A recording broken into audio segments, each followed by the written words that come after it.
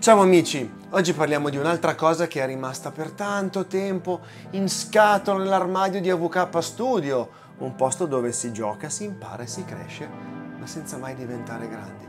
Parliamo di Nightbird. She's a ninja.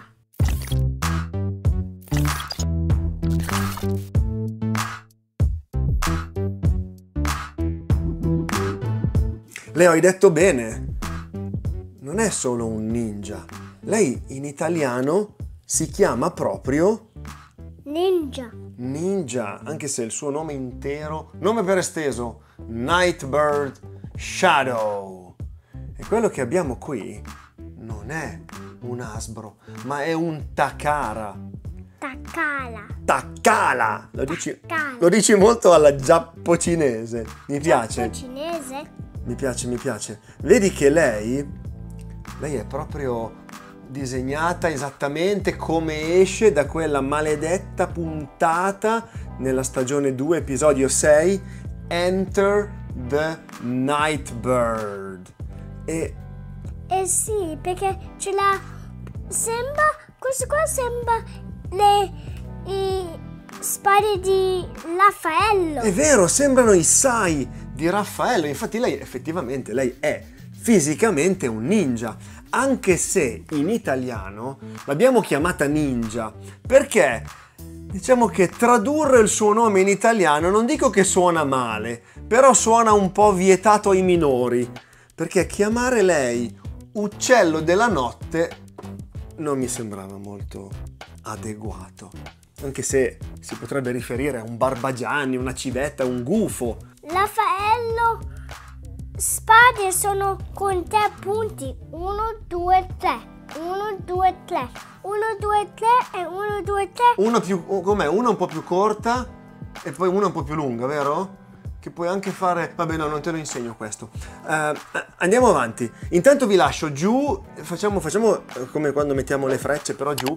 Giù vi lascio il link della puntata. Tanto è su Hasbro Pulse ed è gratuita e ai nostri amici ci piace quando le robe sono gratuite. Ci allora, piace. tu te ne ricordi la storia di lei? Prima di andare ad aprirla, di farvi vedere quanto è figa la scatola Takara della serie 30 Anniversary, questa cos'è? 2015? Ok. Va bene, parliamo dopo. Ti ricordi la storia di lei? Sì, che un personaggio c'era un blanket to cover it because it was a surprise. Sai che è bravo, lo sta- stava facendo un product reveal e lui era, eh, com'è che si chiamava lui? Il professor Fujiyama, che nome uff- ufficialmente eh, creativo che hanno trovato. Professor Fujiyama, And poi, the Autobots were all watching to, and they was walking to let no Decepticon that was there to destroy Infatti, infatti i Decepticons cosa fanno? La portano via e Boomshell si improvvisa scienziato, eh? E lui cosa fa? Gli impianta un software che la fa diventare coscienziosamente cattiva. Sì, e quando fa la bava lo mette un La bava sì, come i Doberman, intendi? una bava. La bava, quella dei Doberman che, che che viene giù dei fianchi. Lascia perdere. Ok. E poi ce l'aveva un simbolo di Decepticon e poi è lì. E poi è lì. E lei cosa fa? Va nella casa degli Autobot, ruba the Energy Chip, cioè un supporto di memoria dove hanno salvato tutte le location della- dell'energia del mondo. Molto comodo salvarlo in un posto dove apri e lo porti via. E quindi lei va lì, fa questa roba e poi è talmente forte che fa un mazzo così a tutti e la devono intrappolare nella prigione di, di energia e la devono disattivare, altrimenti sono sai da... Eh, non te lo posso dire. Vabbè, hai capito? Esatto, un, un bottom like this gli fa. Lei, tra l'altro, questa qui, vedi che diventa una versione nera, che poi sarebbe la versione, sarebbe Arsi, no? Sarebbe Arsi che l'hanno presa e hanno fatto un bel recolor, però Arsi non ci interessa. Lei non si trasforma mai, cioè non ha un alt mode, è un droide ninja. È vero che nella versione giapponese di questa roba qui, lei si fonde in simbiosi con un'intelligenza artificiale dal nome Shadow e diventa Nightbird Shadow, quindi doppiamente cattiva. Addirittura lei si associa a un gruppo che si chiama i Six Changers, dove ovviamente c'è anche Six Shot.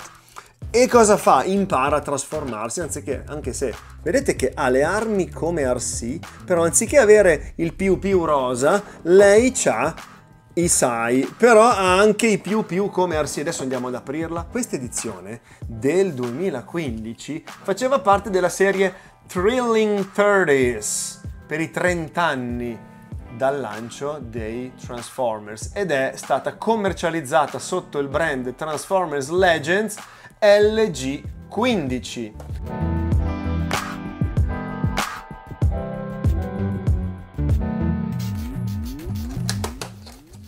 Ah, ma tra l'altro la scatola reca queste bellissime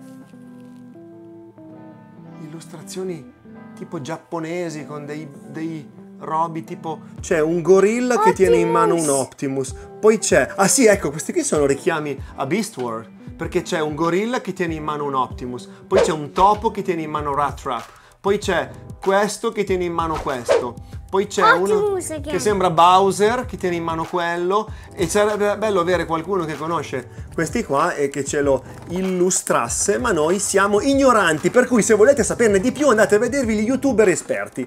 Noi non li siamo. Noi siamo gli youtuber quelli della, della domenica anche se oggi stiamo registrando di mercoledì. Papi, cosa cosa c'è dentro nella scatola? vabbè tanto c'è lei. Lei cioè questa Trasformate in macchina. Guarda che ce l'ha questo qua. il volante Il volante. You don't drive your car. They'll drive.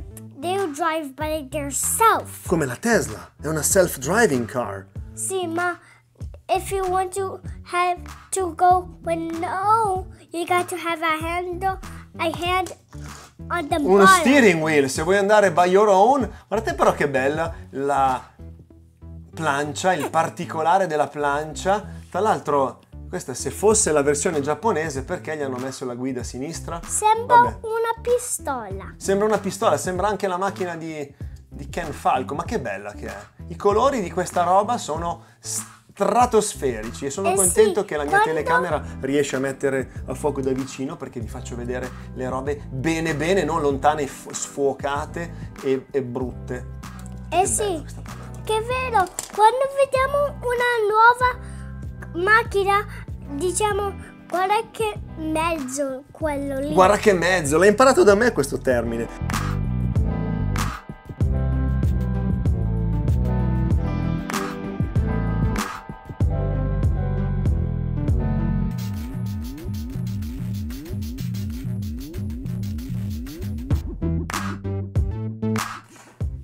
Proprio questa espressione cattiva, eh lei. Cattiva come nel cartone animato, in quella sua fugace apparizione. E adesso intanto che io do un'occhiata ancora a questo fumetto, tu fammi una posa e armala. Fumetto, lei eh, pare stia consegnando de- delle bibite di Energon o Energon e, e- e qui al, al- al Monster Show, al Motel Show del 2015, quindi ho detto 2015, non ho detto una, una castroneria. Poi si trasforma, cade e c'ha sempre i suoi sai attaccati, ma c'aveva un badge con scritto Nightbird, si arrabbia, ha- alza una roba e mi piace questa interpretazione giapponese che è sempre molto giocosa contro invece le robe molto seriose occidentali tipo IDW e lei cade per terra, prima si intrappola nei fili, poi cade per terra sulla buccia di banane e fa la classica strizzata d'occhio giapponese. Quanto mi piace questo cartone un po' giocherellone che è stato introdotto insieme alle istruzioni.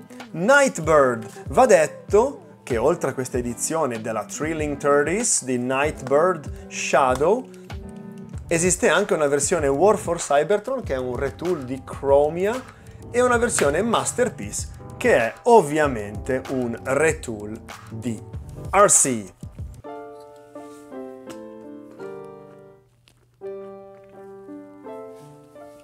Bellissima, una posa action, guardate che gambone e che coscione, che cosciazze che ha la signorina. Eh, c'ha un po' di backpack, eh Leo?